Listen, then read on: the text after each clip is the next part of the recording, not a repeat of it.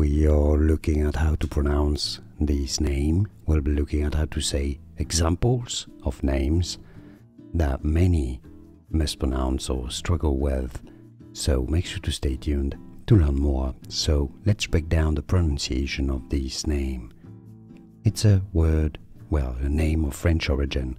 This is why the S is silent. Louis, Lou, E.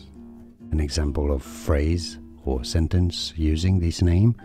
Louis XIV of France had a palace built in Versailles near Paris.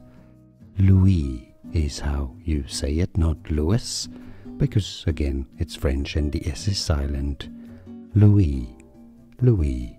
And now you know. Like this video if you found it useful. I appreciate your support.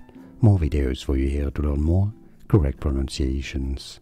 See you there. Thanks for watching.